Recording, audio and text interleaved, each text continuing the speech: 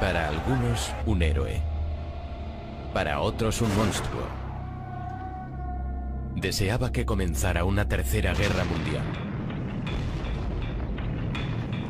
Ante las exigencias del imperialismo, La CIA y las fuerzas especiales norteamericanas conspiraban para derribarle. Su muerte está envuelta en un velo de misterio. Su cuerpo fue enterrado de forma secreta en una tumba sin nombre. Pero aquel hombre de quien todos esperaban que el mundo se olvidara iba a convertirse en una leyenda.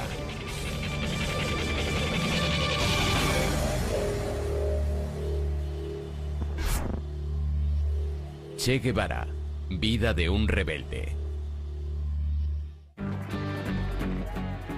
Jóvenes y revolucionarios de todo el mundo le veneran como a un gran personaje. Su rostro aparece en millones de camisetas, pero el Che Guevara auténtico no era una imagen bidimensional, sino un hombre muy complejo y con un objetivo determinado. El Che consideraba que formar parte de una guerrilla era la máxima expresión del género humano. Alguien a quien se prepara para sacrificarse por un ideal, en este caso por la causa del marxismo-leninismo, como solución para los males de la humanidad. Y el único modo de cambiar por completo el orden mundial dominado por el capitalismo yanqui. John Lee Anderson en su biografía Che Guevara, una vida revolucionaria, explora al hombre que hay detrás del mito.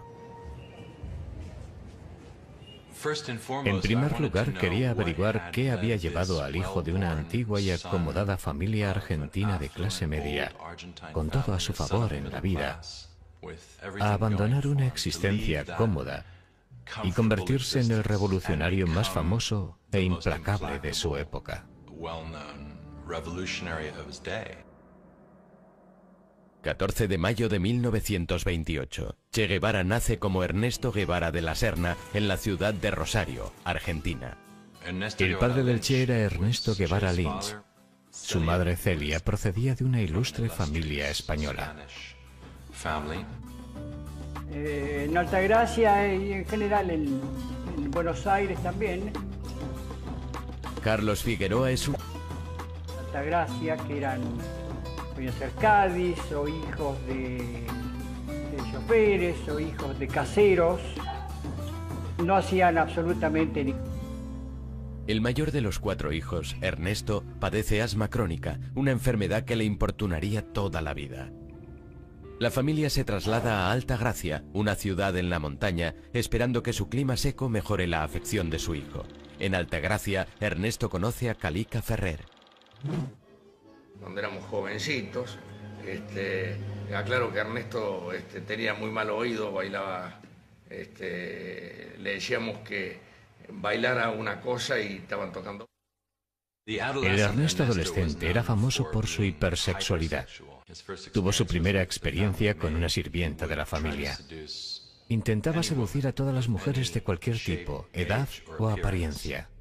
Uno de los rasgos más insólitos de Ernesto es su falta de higiene, lo que le hace ganarse el apodo de chancho, en otras palabras, cerdo. que él le llamaba la, la semanera, eh, que la cambiaba una vez por semana. Y entonces le, le pusimos chancho y ahí quedó chancho. Pero a pesar de sus excentricidades, Ernesto tiene un lado muy introspectivo. Siempre estaba buscando, no sé, el sentido de la vida. Ernesto siempre se destacó por ser adelantado, muy intrépido, muy valiente, eh, siempre Nehru, Gandhi, Steinbeck y Follner y Mussolini. Era un lector voraz. Aunque se matricula en la Facultad de Medicina, la verdadera educación de Ernesto proviene de los viajes que hace por la subdesarrollada Latinoamérica. Alberto Granado era un estudiante mayor que él. Le propuso hacer un viaje en moto a lo largo y ancho de Latinoamérica. Se trataba de buscar algo más allá de los privilegiados confines donde habían nacido. Deja aparcada su licenciatura en medicina y el 4 de enero de 1952, Ernesto y Alberto se ponen en camino en una vieja Norton denominada La Ponderosa 2. Lo único que podíamos ver era el polvo del camino y a nosotros en la moto devorando kilómetros en nuestro viaje al norte. Viajaron hacia la Patagonia y cruzaron Chile, donde la ponderosa finalmente se agotó. Abandonan la moto y viajan a pie y en la parte de atrás de los camiones y se dirigen a la zona interior de Chile. Subieron al norte para ver la mina de cobre a cielo abierto más grande del mundo, Chuquicamata, que ocupaba un lugar preponderante en la imaginación de los latinoamericanos de aquella época, ya que pertenecía y era explotada por Estados Unidos. Era esa noción de la empresa brutalmente capitalista explotando a los trabajadores locales. Las compañías norteamericanas como Anaconda y Kencott monopolizan la industria minera de Chile. Las empresas norteamericanas iban a América Latina por dos razones, materia prima barata y sueldos bajos. Para un joven nacionalista e idealista de principios de los años 50, fue muy duro constatar las políticas que Estados Unidos practicaba en Latinoamérica. Vio algo que no había visto antes, vio el rostro de la miseria. En América, no, no, eh, siendo como era, como era Ernesto, realmente le, le chocó terriblemente. De Chile, Ernesto y Alberto se dirigen a Perú y después siguen hasta Venezuela. Tras siete meses en la carretera, Alberto decide quedarse en Venezuela, mientras que Ernesto vuelve a Buenos Aires para terminar su último año en la Facultad de Medicina con una nueva conciencia social. Todo este recorrido por nuestra América, con A mayúsculas, me ha cambiado más de lo que esperaba. Cuando terminó me dijo, viste, vos no me creías. Me acabo de recibir del médico. Preparémonos que nos vamos ya de viaje. Ese es su último, el último viaje de acá Ernesto y Calica se dirigen a Bolivia. En el camino conocen a otros jóvenes viajeros. Conocer, eh, es decir, Ernesto siente gran curiosidad por el fervor político de los estudiantes y la situación en Guatemala, donde el presidente Jacobo Arbenz está intentando provocar una revolución social mediante una reforma agraria. Arbenz intentaba nacionalizar las tierras no aprovechadas de las grandes empresas norteamericanas de plátanos y frutas, especialmente United Fruit. Por supuesto, la compañía United Fruit estaba muy vinculada a la administración Eisenhower. El secretario de Estado John Foster Dulles había pertenecido al Consejo de Administración de United Fruit y además era el hermano de Alan Dulles, director de la CIA. United Fruit pagó a un cualificado especialista en relaciones públicas para que fomentara el temor a una amenaza comunista en Guatemala, este pequeño y empobrecido país. 24 de diciembre de 1953. En medio de este ambiente cargado, Ernesto llega por primera vez a Guatemala. Muy pronto le presentan a una mujer peruana llamada Hilda Gadea. Hilda se enamoró perdidamente de él de inmediato. Incluso llegó al punto de empeñar algunas de sus joyas para pagar el alojamiento de Ernesto. Y finalmente comenzaron a dormir juntos. Ernesto conoce a través de Hilda a los seguidores de un abogado cubano de 26 años, Fidel Castro. Este había encabezado un asalto al cuartel de Moncada, la segunda guarnición más grande que había en Cuba, en su audaz intención de derrocar al presidente de Cuba, general Fulgencio Batista.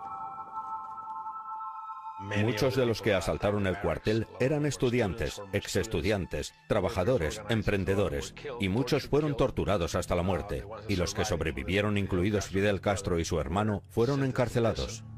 Castro tiene que cumplir 15 años de sentencia, pero Ernesto está profundamente impresionado con aquellos hombres. A diferencia de sus amigos cubanos, Ernesto no está comprometido con ninguna causa o ideología, pero la destitución de Arbenz, el presidente de Guatemala, cambia sus puntos de vista. El primer golpe de Estado en Latinoamérica patrocinado por la CIA tuvo lugar en Guatemala en 1954. Digamos que el ejército se asustó y se le dijo a Arbenz que dimitiera. Y eso fue lo que hizo. El 27 de junio de 1954 sube al poder Castillo Armas. Muchos le ven como un títere de Norteamérica. Comienza por arrestar a comunistas sospechosos y amenaza a todo aquel relacionado con el antiguo régimen con la cárcel y posiblemente con la ejecución. Ernesto se refugia en la embajada argentina. terminó por convencerse de que los Estados Unidos eran, tal como los denominó después, el enemigo de la humanidad. Jacobo Arbenz Guzmán sucumbió antes del frío, agresión premeditada de Estados Unidos, escondida tras una cortina de humo de propaganda continental. Ahora, Ernesto se considera marxista. El comunismo parecía ofrecer un futuro y una ideología lista para aplicar en una nueva sociedad que podría surgir de las cenizas de la antigua. Ernesto Guevara se fue de Guatemala convertido en un individuo radicalizado en busca de una revolución en la que poder luchar. En septiembre de 1954, como muchos otros izquierdistas, Ernesto se dirige a México donde el expresidente Cárdenas había nacionalizado los yacimientos de petróleo en la década de los 30. México tenía una posición histórica como uno de los países en la órbita de Estados Unidos, pero a finales de siglo supo hacer frente al imperialismo yanqui. Ernesto se vuelve a poner en contacto con sus amigos cubanos que le presentan a Raúl Castro, quien tras cumplir 22 meses de cárcel por su papel en el asalto de Moncada, va a México e intenta reconstruir la organización de su hermano mayor, Fidel. Se cayeron bien. A diferencia de Fidel, que estaba aún en prisión, era marxista. Batista tiene que rendirse ante la presión internacional y deja en libertad a Fidel Castro, que solo había cumplido dos años de sentencia. También Fidel se dirige a México. Castro había intentado derrocar la dictadura por la fuerza de las armas en aquel loco asalto al cuartel de Moncada, asalto que muchos consideraron un acto temerario. Ahora estaba exiliado de su patria. ¿Y adivinan qué? Iba a organizarse, volver a su país y hacer lo mismo. Mientras Ernesto es reservado, serio, comunista, Fidel Castro no es ninguna de esas cosas. Estaba metido de lleno en la improvisada política de su época y se consideraba a sí mismo patriota y nacionalista. Aún no era marxista-leninista. En agosto de 1955 y deseando conocer al hombre que había levantado semejante pasión entre sus seguidores, Ernesto le pide a Raúl que le organice un encuentro. El encuentro dura toda una noche. Una incidencia política es haber conocido a Fidel Castro, el revolucionario cubano. Un hombre joven, inteligente, seguro de sí mismo y de una audacia extraordinaria. Creo que hay una mutua simpatía entre nosotros.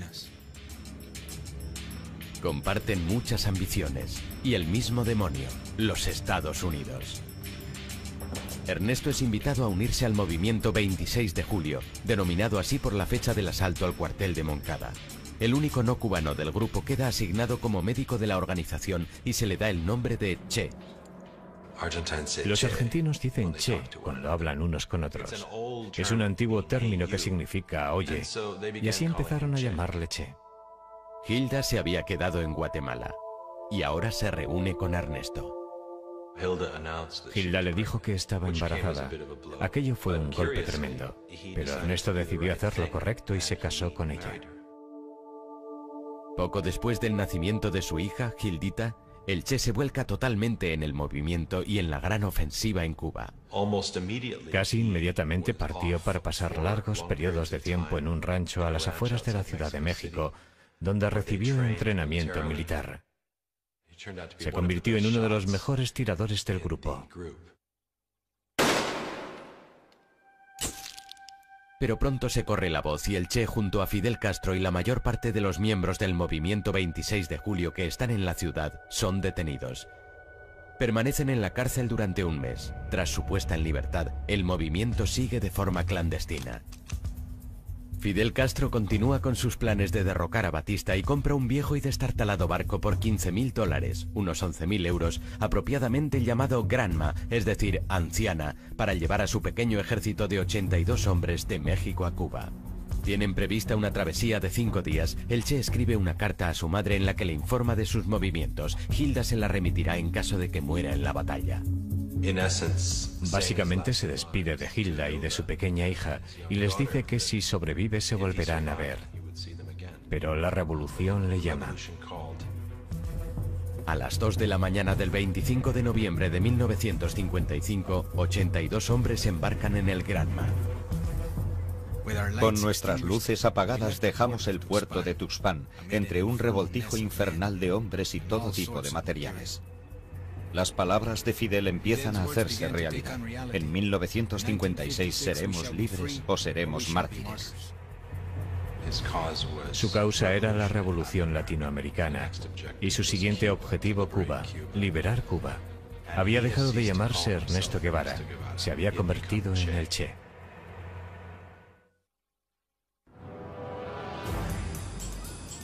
El 25 de noviembre de 1955, un Che Guevara de 27 años emprende junto a Fidel Castro y otros 80 hombres una expedición armada para derrocar al presidente de Cuba, Fulgencio Batista. El pequeño ejército embarca en un viejo barco llamado Granma y se dirige a La Habana. A 150 kilómetros de la costa de Florida, la isla de Cuba disfruta los beneficios de una industria turística en auge. La Habana era el prostíbulo del Caribe, era un lugar donde los norteamericanos iban a pasar fines de semana de desenfreno. Había espectáculos de sexo en vivo, coristas, estaba llena de prostitutas y de drogas. Era un ambiente de carnaval al que muchos turistas norteamericanos acudían en manada. Había algunos aspectos positivos, pero había otra Cuba, y la otra Cuba estaba gobernada militarmente por la dictadura. Aunque la administración Eisenhower apoya a Batista, muchos cubanos le consideran un dictador despiadado. Fulgencio Batista era el mayor matón que hubiera gobernado nunca en un país latinoamericano. Y era alguien de quien se daba por hecho que estaba en deuda con los intereses económicos de Estados Unidos, con los intereses de la mafia norteamericana en Cuba. El séptimo día de la travesía a bordo del Granma ha sido turbulento. Todo el barco tenía un aspecto tan ridículo como trágico. Hombres con rostros angustiados agarrándose el estómago, algunos con las cabezas metidas en los cubos, otros tumbados en posiciones extrañas, inmóviles, con sus ropas manchadas de vómitos. Fue un absoluto desastre. Se desorientaron, se cayó un hombre por la borda. Después le salvaron. Cuando finalmente llegaron a la costa de Cuba, atracaron en el lugar equivocado. Llegan a Cuba con dos días de retraso y a plena luz del día. Cuando el viejo barco se acerca a la playa Las Coloradas, choca con un banco de arena. Se hundieron y tuvieron que tomar tierra en una marisma. Antes de que el escuadrón tenga la oportunidad de reagruparse, la Fuerza Aérea de Batista les ataca y el Che y el resto del grupo de Fidel Castro corren a ponerse a salvo. Durante los tres días siguientes consiguen eludir a las fuerzas enemigas, pero el 5 de diciembre se les acaba la suerte. En unos segundos, un vendaval de balas.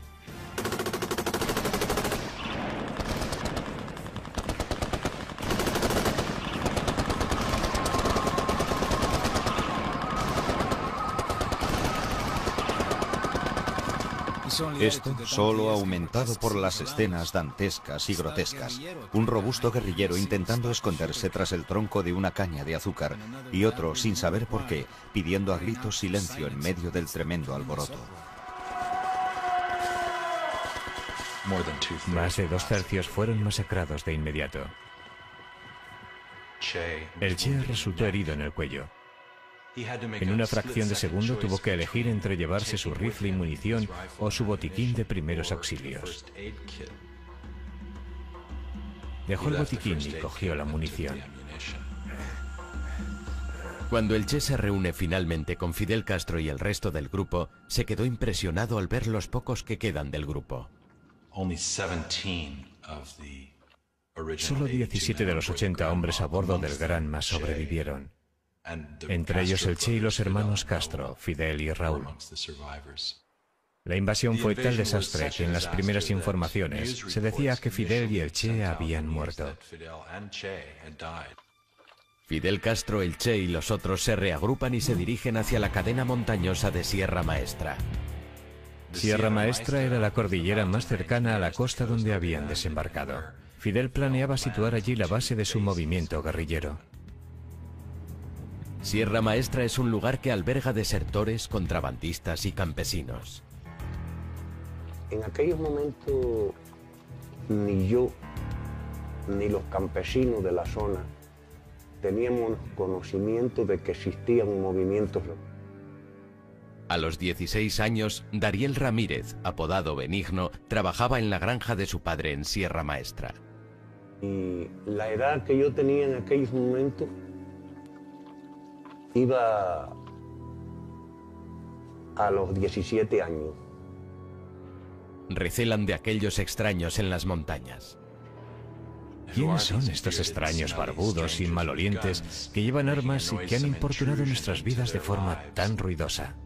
Fidel Castro intenta convencer a los campesinos para que se unan a él y a sus hombres. Decidió que tenía que convencer a los campesinos de que él iba a llevar a cabo una reforma agraria. Y lo consiguió robando vacas a los terratenientes, liberándolas y transfiriéndolas a las zonas de los campesinos. Aquello era un movimiento popular equitativo. Castro decide que ha llegado el momento de que se oiga la presencia rebelde y planea atacar un puesto militar en la zona. El Che se dirige a su primera batalla. El 22 de enero de 1957 los rebeldes tienden una emboscada a una patrulla militar.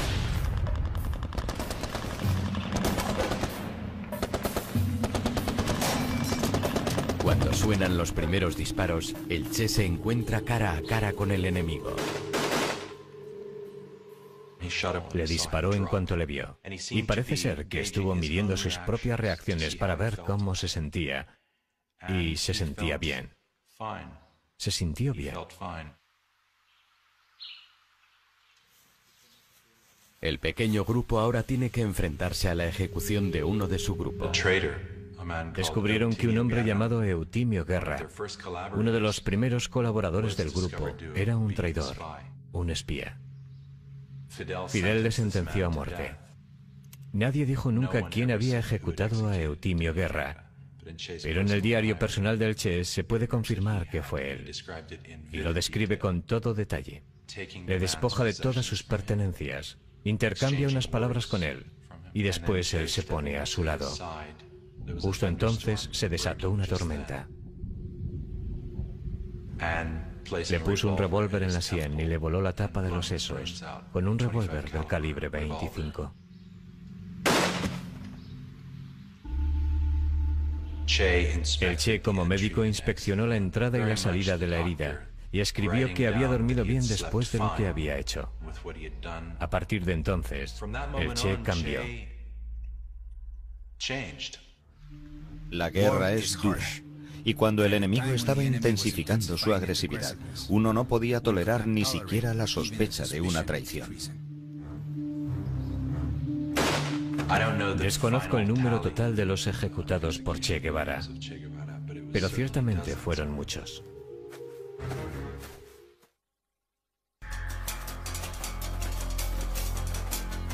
El 17 de febrero de 1957, una pequeña banda de revolucionarios escondida en la jungla y comandada por Fidel Castro supone una amenaza constante con sus emboscadas al ejército y castiga a los traidores de su grupo. Pero gracias en parte a la falta de piedad de Che Guevara, el grupo va ganándose la fama de ser un grupo fuerte y violento. La tropa de Fidel Castro y sus hazañas atraen pronto la atención de la prensa mundial. Herbert Matthews, redactor del New York Times, consiguió entrevistarse con Fidel Castro. Y este quiso hacerle ver que disponía de 100 a 150 hombres dispuestos para la lucha armada. En realidad, aquel temible ejército rebelde lo componen solo 20 hombres. Cuando un mes después se publica el artículo, se confirma que Fidel y el Che han sobrevivido al ataque inicial de las fuerzas de Batista y que su movimiento se está desarrollando en Sierra Maestra. En respuesta, Batista despliega 1.500 soldados más para dar caza a los rebeldes. A partir de, ese día, yo me convertí en un colaborador del grupo de, de Fidel y el Che, ¿no?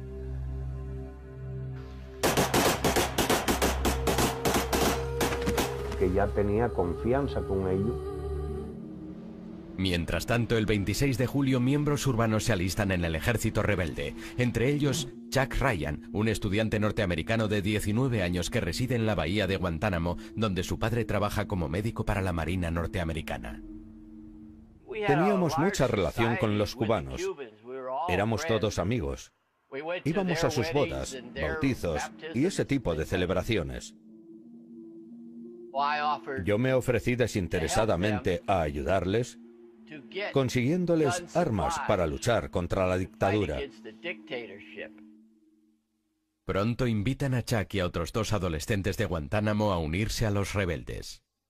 Hablamos de ello, arreglamos algunas cosas y les dejamos unas cartas a nuestros padres. Los jóvenes norteamericanos y otros 50 nuevos reclutas son conducidos a Sierra Maestra. Una de las primeras personas que conocieron fue el Che. Creo que enviaron al Che porque muchos de los hombres que venían con nosotros se encontraban bastante mal. Estaban muy cansados, completamente desfallecidos.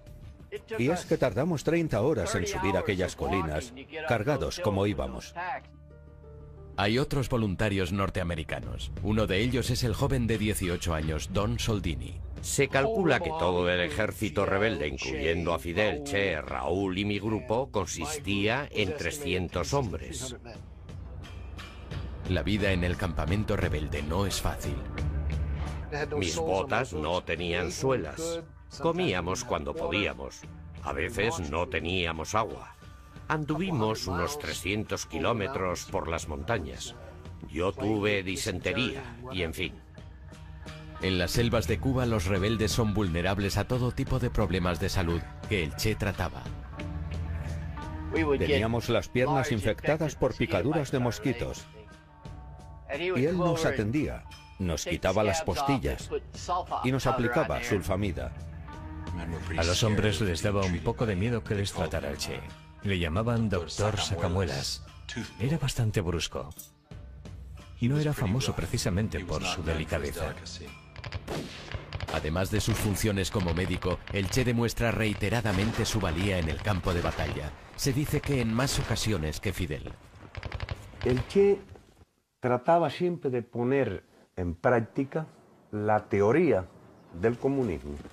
Ir los comestibles, los alimentos por partes iguales. Su buena disposición para enfrentarse a la muerte, para arriesgar su propia vida, fue determinante para conformar un carisma muy poco común que le proporcionó una fama casi legendaria. Se reveló como un hombre a quien los otros temían y además respetaban y admiraban. Viendo lo bien que el Che se conduce en batalla, el 12 de julio de 1957 Fidel Castro le asciende a comandante y le asigna el mando de su primera unidad militar, de 75 hombres, denominada Columna número 4. Aquella asignación me hizo entonces el hombre más feliz del mundo.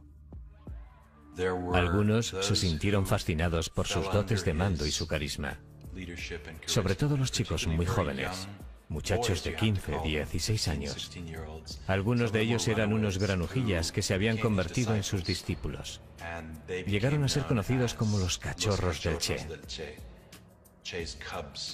Era todo para ellos, un hermano mayor, un padre, un jefe de guerrilla, un instructor y sobre todo un ideólogo. Les daba clases de alfabetización. Quería que leyeran y escribieran. Otros intentan no atraer su atención. Tengo que reconocer que el carácter del Che Guevara era una complejidad de alma y corazón. Y a veces lo veía con una tranquilidad que condenaba a un chivato a muerte. En octubre, el Che tiene una nueva base en la mesa. Con esta nueva libertad de movimientos comienza a organizar la zona comenzando por un arsenal, una panadería, una carnicería e incluso un periódico llamado El Cubano Libre. En febrero de 1958 comienzan a emitir mensajes desde su propia emisora de radio, Radio Rebelde. No todos los guerrilleros saben que están luchando por una revolución comunista. Fidel nunca nos ha dicho de que aquello era comunismo, los campesinos que lo acompañábamos Preocupaba mucho el poder y la retórica de Castro y quién era él. En aquella época era una especie de misterio. La CIA y el ejército estadounidense seguían proporcionando armas a Batista. Las tropas de Batista baten Sierra Maestra, pero aún así los rebeldes juegan con ventaja al ganarse el inestimable apoyo de la población local. El ejército de Batista estaba contra las cuerdas y Fidel eligió al Che para llevar la guerra al norte. Tras 18 meses en Sierra Maestra, es el momento de extender la guerra a otras partes de Cuba. Che Guevara y su columna marchan 600 kilómetros hacia la provincia de Las Villas, estratégicamente situada cerca de Santa Clara y la cuarta ciudad más grande de Cuba, a solo cuatro horas de La Habana. A finales de 1958 conoció a Aleida March. Ella apoyaba el movimiento del 26 de julio. Aleida había pasado clandestinamente armas y mensajes desde las ciudades hasta el campamento del Che, pero en una de esas misiones la descubren. Acabó en las montañas y uniéndose al grupo del Che. Y al cabo de las semanas, cuando dejaron la Sierra del Escambray para luchar contra el ejército de Batista en las ciudades cercanas a Santa Clara, se convirtieron en amantes. Mientras tanto, la guerra de guerrilla se intensifica.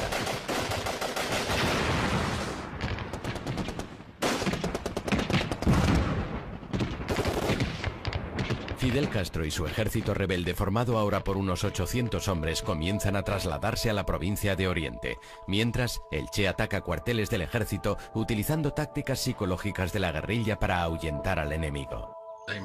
Imaginemos un lunes a la una de la madrugada, un rebelde dispara un tiro al cuartel y por supuesto la respuesta es una gran cantidad de disparos.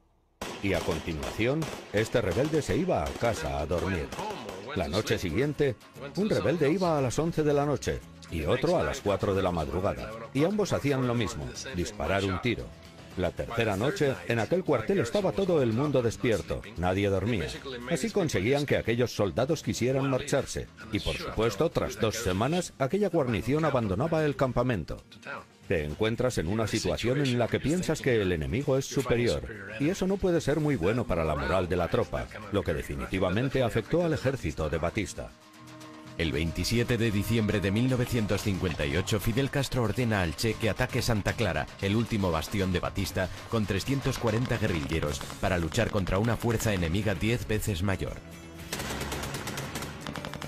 Los guerrilleros estaban instruidos, sabían lo que estaban haciendo, sabían que tenían un buen comandante, tenían al Che. Él era el mejor, confiaban en él. Estábamos siguiendo todo a través de la onda corta de Radio Rebelde. Las noticias que nos llegaban desde Santa Clara, donde estaba el Che, no eran muy buenas. La emisión rebelde decía que estaban recibiendo una paliza. Pero aquella información era equivocada.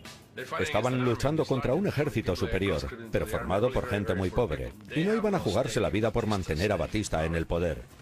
Siendo conscientes de la inutilidad de la resistencia, se rindieron y más de 100 armas pasaron al lado de la libertad. El golpe final a las fuerzas de Batista llegó cuando el Che y sus hombres tienden una emboscada a un tren que transportaba refuerzos a Santa Clara. El 31 de diciembre de 1958, Batista huyó de La Habana con todo su séquito y varios millones de dólares en metálico. Cuando se propaga la noticia de la marcha de Batista, las tropas comienzan a rendirse. Fidel ordenó al Che que marchara de Santa Clara a La Habana, mientras él hacía un desfile victorioso más pausado a lo largo de la isla. Un Fidel Castro de 32 años y su ejército rebelde llegan a La Habana el 8 de febrero de 1959. Hoy todos los ojos de los poderosos opresores y de los esperanzados están fijos en nosotros. El sueño del Che es el de una Latinoamérica unida y socialista, un nuevo orden mundial que no casa bien con los Estados Unidos. Para lograrlo, el Che extenderá la revolución por todo el continente, pero antes se va a derramar más sangre.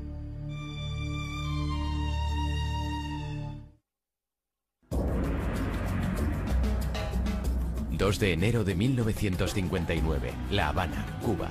Tras dos años de guerra contra las fuerzas del presidente cubano Fulgencio Batista, una guerrilla comandada por Fidel Castro y por Che Guevara se ha hecho con el control de Cuba. En La Habana la tarea del Che va a consistir en respaldar al nuevo gobierno revolucionario en el poder, controlando y purgando todo tipo de oposición. Mientras el presidente Fulgencio Batista huye de Cuba derrotado, Fidel Castro y su ejército rebelde hacen una entrada triunfal en La Habana. Nos recibieron como libertadores. La gente corría de aquí para allá con botellas de ron.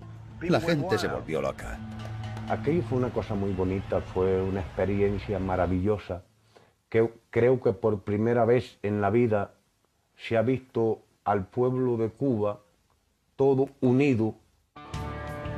Tras dos años viviendo en las montañas, los rebeldes no tienen fuerzas para resistirse a las tentaciones de La Habana. Che tuvo que dictar órdenes estrictas en cuanto a la conducta de sus jóvenes que llegaban a La Habana por primera vez y que se encontraban con aquellas mujeres jóvenes y hermosas. Literalmente se lanzaron sobre ellas. Aleida me describió todo aquello como una especie de orgía, sobre todo en las matas, debajo de la gran estatua de Cristo. La esposa del Che, Hilda, no le había visto desde que empezara la guerrilla dos años antes. Vuela a La Habana con su hija sin saber que hay otra mujer en la vida del Che. Él le dijo enseguida que ya no estaba enamorado de ella y que quería el divorcio. El Che se casó con Aleida dos meses después, en una pequeña ceremonia con Raúl Castro como uno de sus testigos. Mientras el Che pone en orden su vida privada, Fidel Castro comienza a implementar el primer cambio importante en Cuba. En un principio, la mayor parte de la población estaba esperando un cambio. Castro, cuando estaba en las montañas, siempre prometió elecciones, elecciones libres, en 18 meses.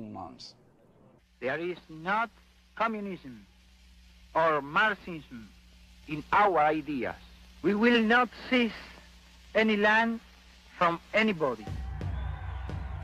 Sin embargo, el 16 de febrero, solo dos meses después de la victoria rebelde, Fidel Castro jura como primer ministro y no hay elecciones. Entonces, ciertos segmentos de la clase profesional, la élite y la clase media, comenzaron a desconfiar de Castro y de su régimen. Hubo un debate que comenzó casi desde el primer día que Castro tomó el poder, y era si era comunista o no.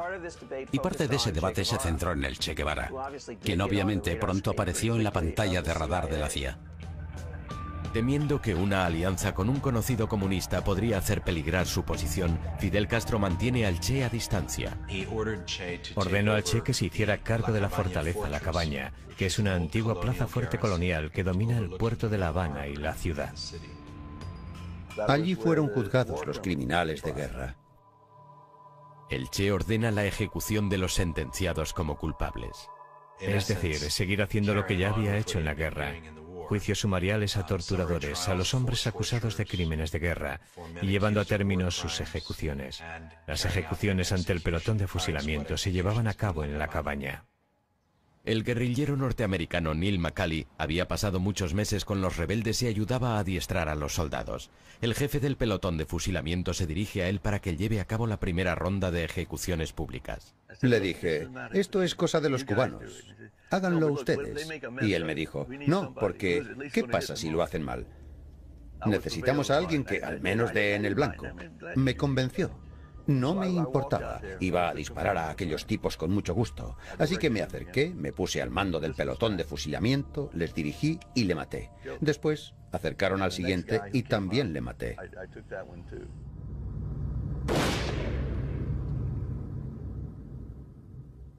Durante el siguiente año y medio son ejecutados por los pelotones de fusilamiento cientos, algunos dicen que miles de personas. Aquellas muertes ayudan a fortalecer la espeluznante reputación del Che.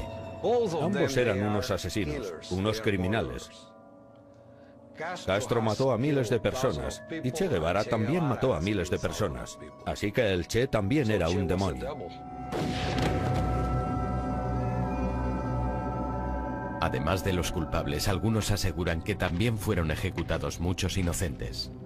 Por esa razón, muchas personas le odian, porque fue el causante del dolor y el sufrimiento en muchísimas familias. ¿Mataron a inocentes? Yo no conozco ningún caso. Lo que esto provocó fue que se mostrara a un Fidel a quien solo le importaba el negocio, nada de revolución. Cuba era un lugar peligroso. Mientras el Che continúa con los tribunales de guerra, las mismas preguntas que se hacen en Estados Unidos respecto al nuevo régimen se las hace también al otro lado del mundo el primer ministro soviético Nikita Khrushchev. Mi padre preguntó a la inteligencia, al KGB, a sus analistas políticos, ¿quiénes son esos tipos?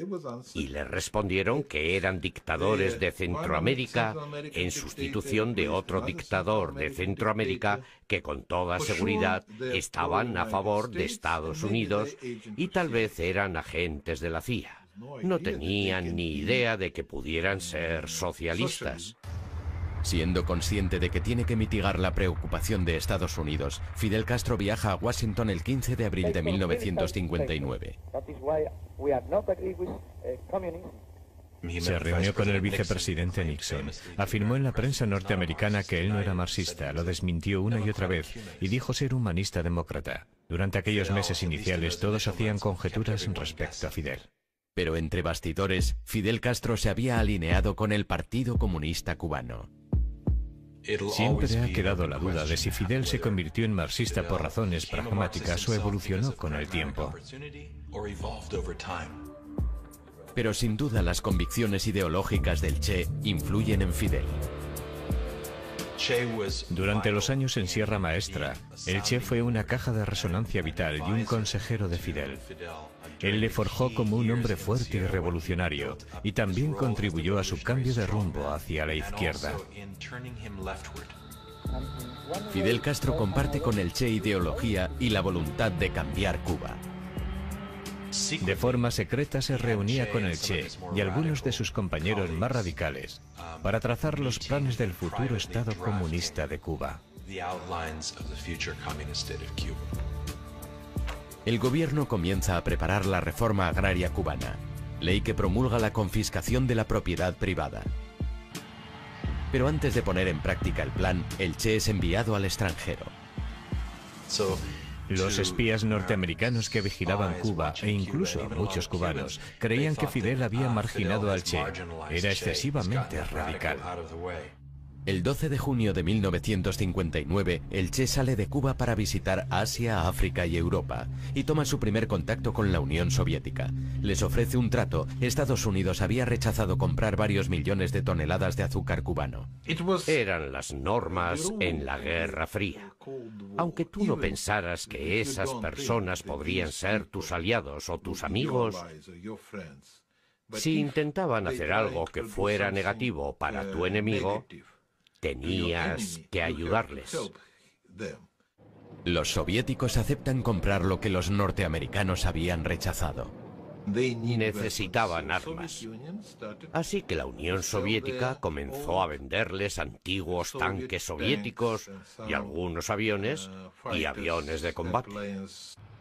Los soviéticos también les proporcionan petróleo que las refinerías pertenecientes a Estados Unidos se niegan a procesar. El Che tenía un rostro público y una existencia clandestina que Fidel asumía y alentaba. Como recompensa, Fidel le da al Che un papel importante en el gobierno cubano como director del Ministerio de Industrialización y es nombrado presidente del Banco Nacional de Cuba. Mostraba su desdén por el mundo de las finanzas y el dinero, firmando los billetes del Banco de Cuba simplemente con la palabra Che. Firmó las primeras monedas oficiales solo con la palabra Che. Y en mi opinión, aquello fue un insulto al pueblo cubano. Fue un insulto. La estructura capitalista de Cuba está llegando a su fin. Castro bajó el nivel de vida de Cuba, por lo que en vez de hacer más ricos a todos, hizo muchísimo más pobres a todos. Fidel Castro decreta una reforma agraria y el 7 de mayo de 1959 se llevan a cabo las primeras confiscaciones de las grandes propiedades agrícolas. La gente comienza a ver la realidad de lo que va a venir. Y muy pronto los cubanos comienzan su éxodo a Miami. Mientras miles huyen de Cuba, el Che aborda un plan incluso más radical.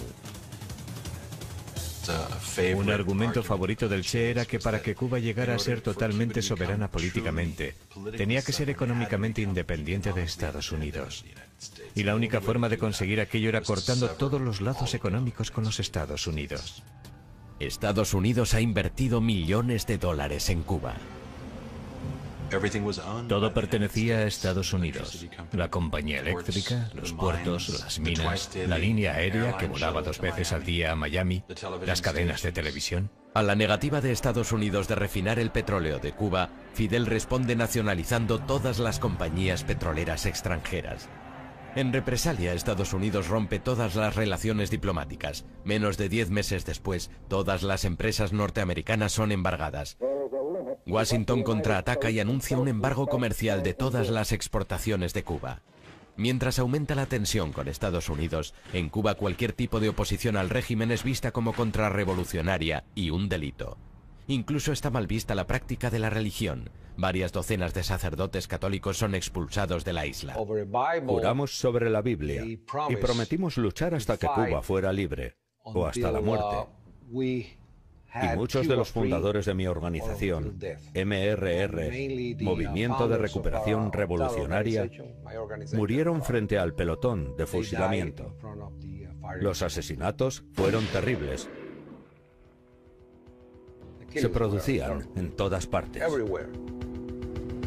Yo no quería vivir bajo un régimen como aquel, ni mi esposa tampoco.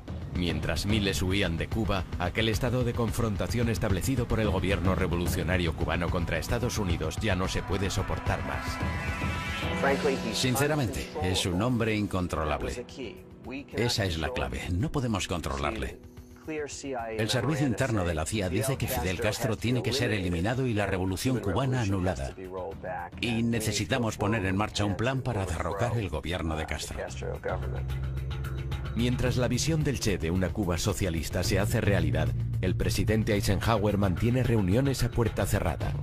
Ha llegado el momento de la acción. Está a punto de empezar una guerra secreta.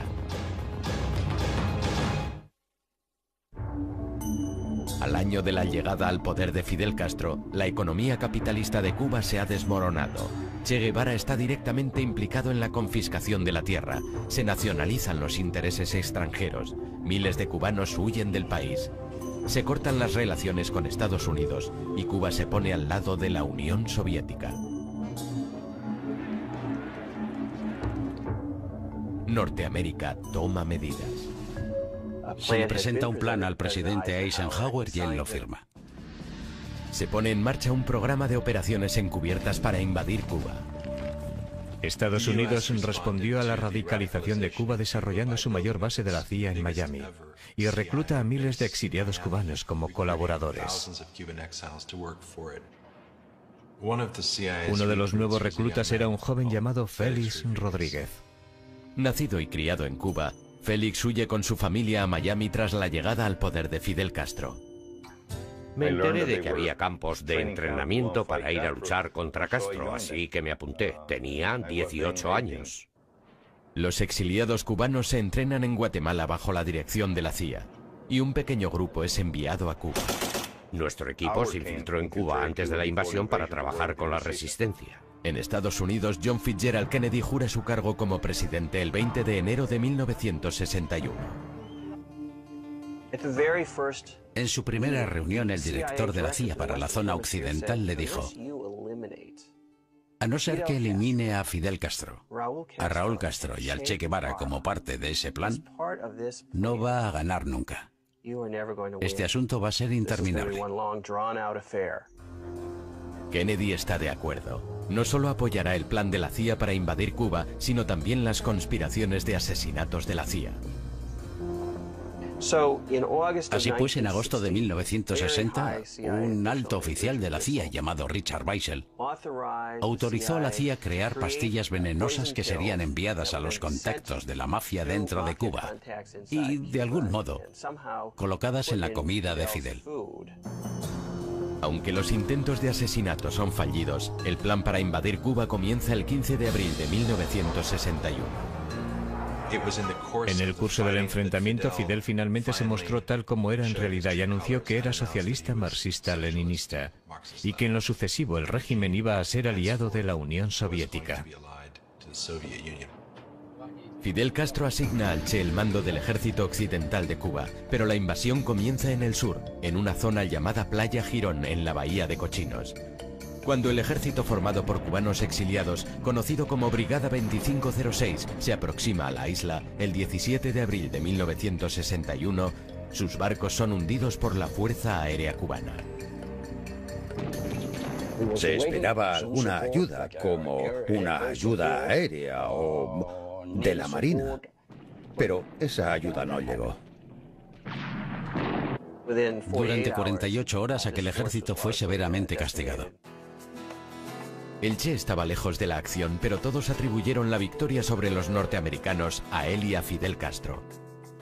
Eran unos héroes en las escuelas, en las universidades y también para los líderes de la Unión Soviética. Para el nuevo presidente norteamericano, la invasión es un desastre. Hubo un famoso encuentro entre Che Guevara y un asesor de Kennedy llamado Richard Goodwin. Lo primero que le dijo a Goodwin fue, gracias por lo de la bahía de cochinos. Ayudó a consolidar nuestra revolución. Antes de la invasión éramos un joven gobierno fragmentado, pero después nuestra victoria y el fervor nacionalista que se despertó nos ha permitido avanzar realmente y de forma mucho más firme que antes. Aquella invasión fue un fracaso en todos los sentidos. Fidel Castro y el Che están convencidos de que Norteamérica les invadirá de nuevo y buscan protección en los soviéticos. Mi padre decía, no podemos proteger Cuba utilizando fuerzas convencionales, así que tenemos que ser muy rotundos. Aquel que invada Cuba se verá metido en problemas porque nosotros vamos en serio. La última discusión acerca de desplegar misiles en Cuba tuvo lugar entre el Che y Khrushchev. Muy pronto son detectados misiles soviéticos en Cuba. Es una época muy peligrosa. Fidel Castro y el Che conminan a los soviéticos a lanzar los misiles en caso de una invasión terrestre norteamericana.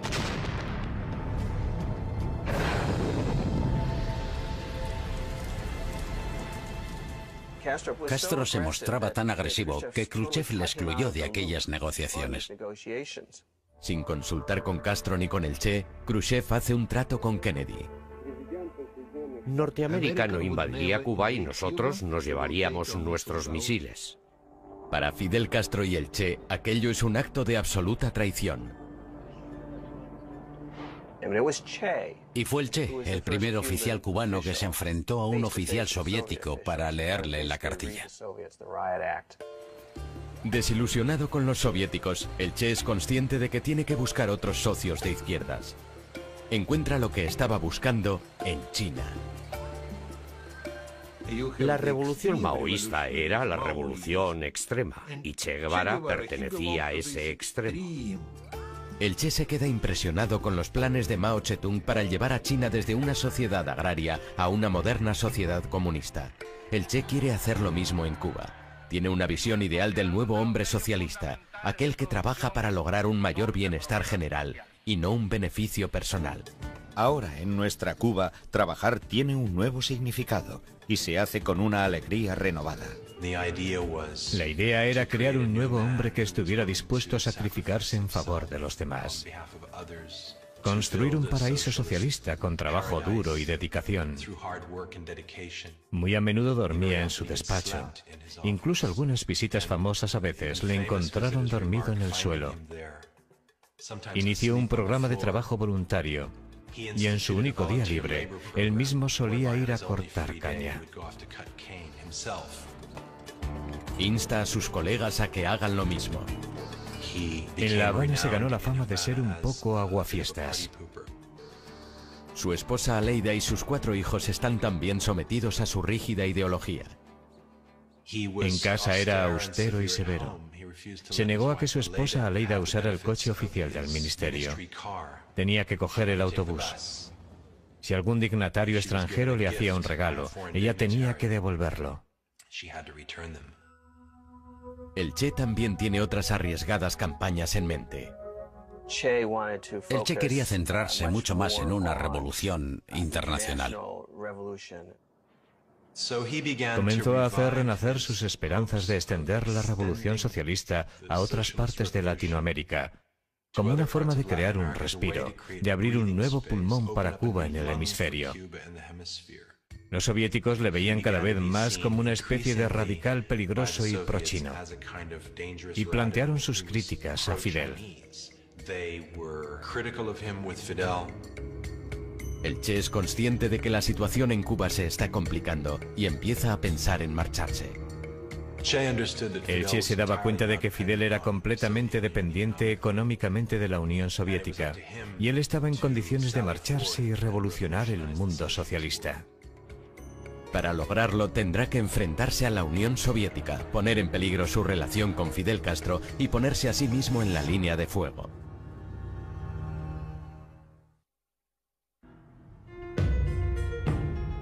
En 1963, la economía de Cuba sufre una debilidad sin precedentes. Los planes de Che Guevara de lanzar al país han fracasado.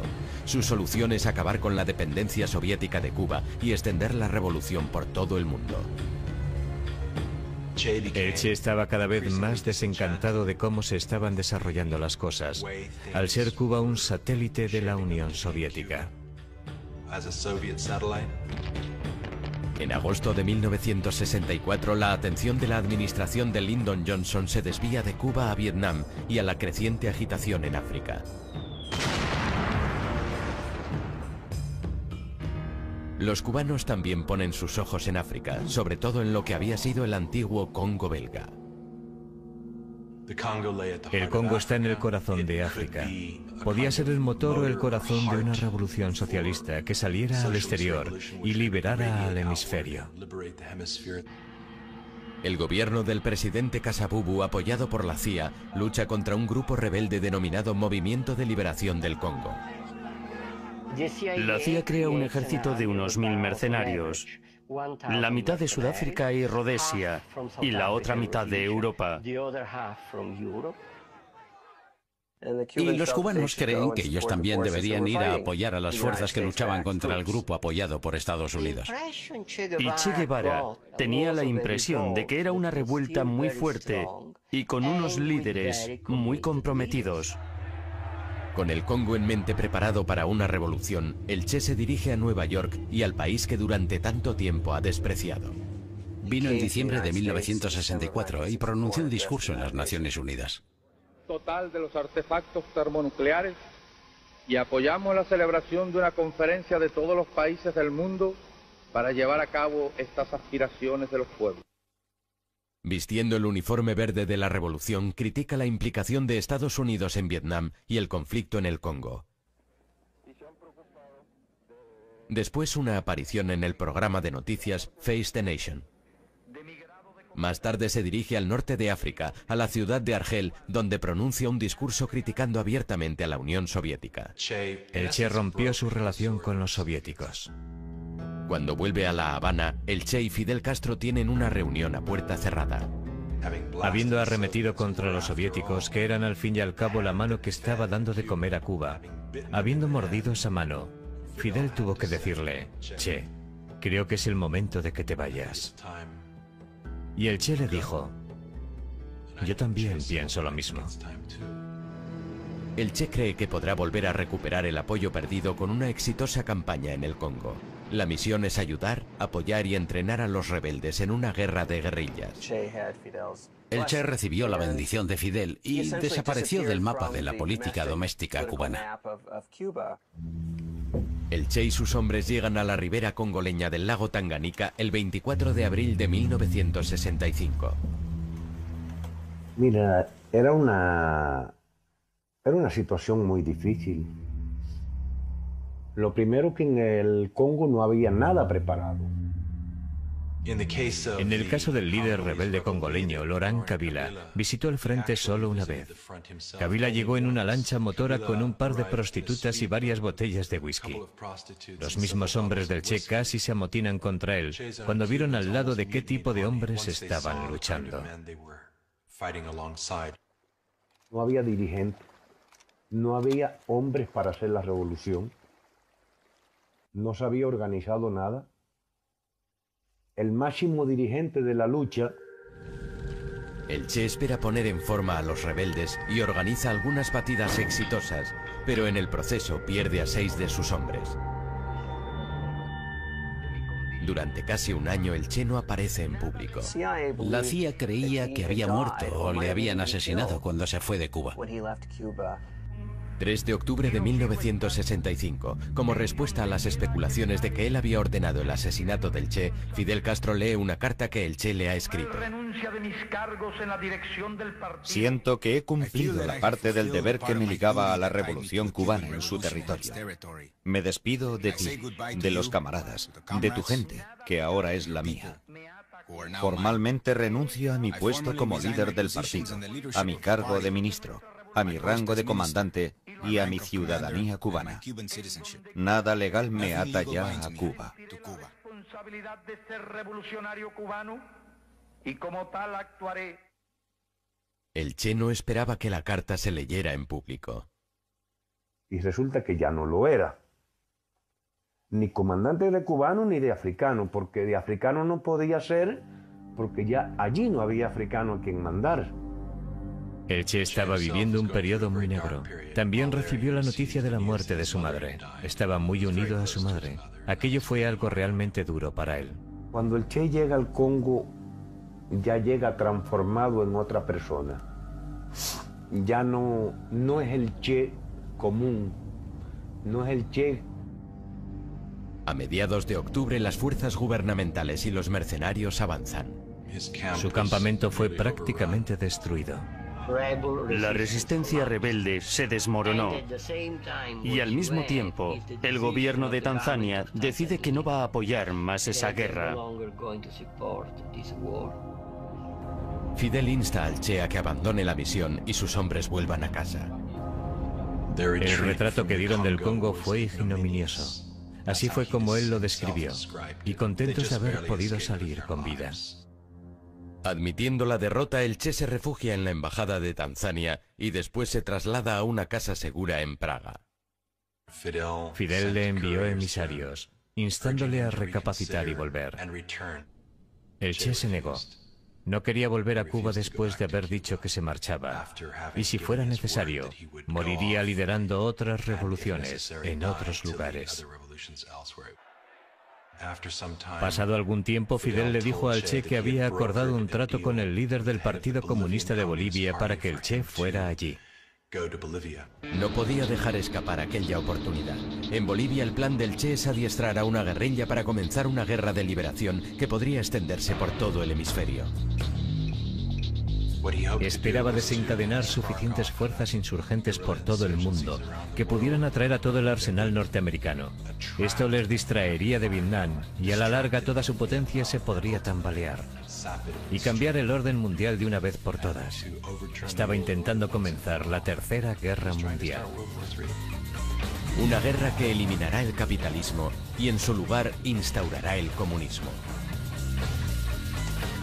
Si lo hubiera conseguido, habría cambiado el mundo. El Che jamás consideró que podría fracasar.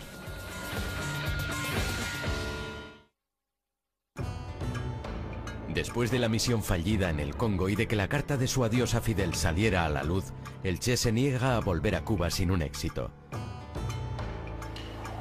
Sus planes de extender la revolución le llevan a Bolivia. Noviembre de 1966. El Che llega a La Paz disfrazado de forma muy convincente. El Che se arrancó los pelos uno a uno. Se creó la identidad de un viajante, un hombre de cincuenta y tantos años. Se dirige a la base de Nancahuazú, donde se reúne con Loyola Guzmán y otros miembros del Partido Comunista de Bolivia. Era militante de la Juventud Comunista de Bolivia en, en el 60 desde el 60 y por esa razón, como era parte de la Dirección Nacional de la Juventud Comunista, El Che explica la misión al grupo. Que estaba preso en Cuba, que Fidel lo había hecho matar, etcétera, etcétera, que estaba dirigiendo guerrillas en Pero pronto el Che cambia de planes. En vez de utilizar Bolivia como base para iniciar la revolución en otros países, la utilizará como el punto de arranque de la revolución que él mismo liderará. El secretario general del partido, el señor Monge, fue al campamento y habló con el Che Guevara. Y le dijo que solo si el Partido Comunista de Bolivia, favorable a Moscú, lideraba el movimiento, podrían tener la posibilidad de triunfar. El Che rechaza renunciar a su puesto de líder. El partido se ha alzado en armas contra nosotros y no sé a dónde nos llevará esto. Pero eso no nos detendrá. Pero la pérdida de apoyo del grupo de monje deja al Che con tan solo 24 soldados, entre ellos algunos de sus viejos camaradas cubanos. En Bolivia, el disfraz del Che va cambiando. Pues nos habíamos pasado eh, cinco meses entrenándonos lo único que no estaba era lo que Fidel nos había prometido.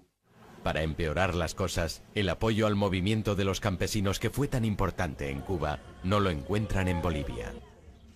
Tuvimos una reforma agraria en 1952, así que cada campesino era dueño de su propia tierra. Teníamos un gobierno democrático y prensa libre. La región del Chaco de Bolivia, donde el Che decide comenzar su campaña, es también bastante inhóspita. Donde inclusive no aparece el habla quechua, el habla que hay en esa zona. Aún así, el Che continúa con sus planes. Si pudo lograrlo en Cuba, también podría conseguirlo en Bolivia. 19 de marzo de 1967, al Che y sus hombres se unen unos cuantos viejos conocidos, entre ellos el marxista francés Regis Debré y dos viejos adeptos a la revolución, el artista Ciro Bustos y una antigua espía de la Alemania del Este y supuesta agente del KGB llamada Tania. Firmemente comprometida con la causa comunista, Tania es el único enlace entre la guerrilla y el mundo exterior. Tania, al perder nosotros a Tania, perdimos todo porque aún con la negación del Partido Comunista de Bolivia de no incorporarse a la lucha, con todo el engaño de... Pero en una de sus incursiones por la selva es descubierta. Tania tiene que quedarse con la guerrilla, pero para algunos las condiciones son demasiado difíciles. La primera información salió de los desertores. Ellos confirmaron la información de que había extranjeros en la región armados y con la intención de crear un ejército guerrillero. El ejército envía a la zona una patrulla de 40 hombres. Y la guerrilla tendió una emboscada a aquella patrulla. Y el 10 de abril tuvimos otras dos emboscadas. La guerrilla tendió una emboscada a otras dos patrullas. El Che decide dividir el grupo en dos. Un líder rebelde llamado Joaquín se quedará en la retaguardia mientras el Che va a la vanguardia. Da instrucciones a Regis Debré y a Ciro Bustos para que hagan llegar un mensaje a Fidel Castro. En el intento son capturados y hechos prisioneros por el ejército boliviano. El sargento Miguel Arroyo les interroga. Ellos sí, ellos fueron... Pero él, eh, él prácticamente por voluntad, porque él estaba muy preocupado, Bustos. Eh, Bustos eh, graficó eh, la imagen de todos los Ahí se pudo detectar ya la aparición de Guevara, porque lo saca con barba y con su cachimba ya. Regis Debré confirma la identidad del Che. Cuando reapareció en Bolivia en 1967 había que ver los informes de la CIA diciendo, bueno sí, suponemos que estábamos equivocados cuando pensábamos que en estos últimos años podría haber muerto, pero parece que está vivido y coleando y promoviendo la revolución en la selva de Bolivia. La CIA envía un par de agentes a Bolivia en junio de 1967. Uno de ellos es Félix Rodríguez, el hombre que a los 18 años se había preparado para la Bahía de Cochinos. Se ha ofrecido a asesinar al Che y a Fidel Castro. El gobierno boliviano estaba seguro de que él estaba intentando promocionar la guerrilla en la zona. Con la evidencia de que el Che intentaba comenzar una guerra de guerrillas en su país, el presidente boliviano empieza una campaña propagandística contra ellos. Crisis porque no se podía ir a comprarse nada, salir porque aquí no tenemos mercado, teníamos que ir al Chaco a traer. Con el Che Guevara de nuevo en el punto de mira, Norteamérica empieza a prepararse para ayudar a los bolivianos. Está muy claro que durante el verano de 1967 este asunto pasa a ser absolutamente prioritario para la CIA. Lyndon Johnson seguía día a día la evolución de los pasos que se daban para localizar y eliminar al gran revolucionario.